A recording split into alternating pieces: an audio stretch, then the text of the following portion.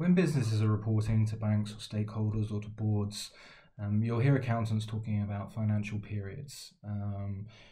essentially, the reason for this is it's incredibly important that once something has been submitted, uh, those results aren't then subsequently changed.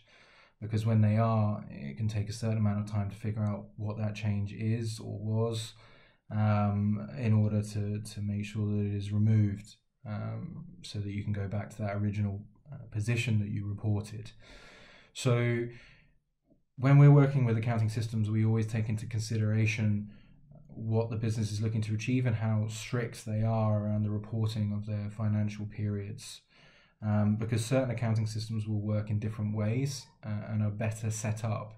um, to work with uh, uh financial periods, whether that be um, 13 four week periods or 445 which you see in retail and hospitality or just having standard 12 month periods.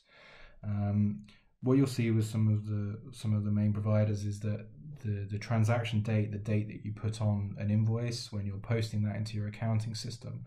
automatically pertains to a financial period. So if you have a financial year that ends in december a calendar year if you date something on the 1st of January, that will go into your financial period one automatically when you date that transaction the 1st of January. Now, that's all well and good, um, but what might be preferable is that from a tax perspective, you might receive an invoice, let's say dated the 28th of January, um, but you receive that invoice late and you've already finished and submitted your January accounts to your bank you therefore, from a VAT and tax point perspective, would still want to post that transaction with the date of the 28th of January, but you would want to put it into your February period, your period two, if you're working on a calendar year. Now, with certain systems, that's not possible, um, but with others, it is if you're using a period based accounting system. So, if you're making that decision to potentially move accounting systems or upgrade and, and you have to submit numbers and you want tighter financial controls around your financial periods, I would encourage you to use what is called a period based accounting system, which will have a separate field for your transaction date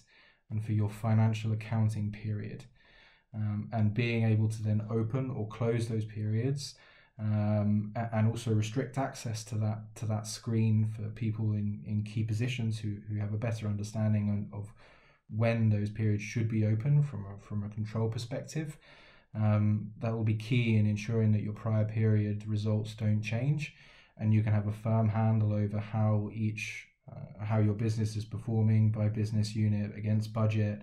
um, and against last year because you will have a clear control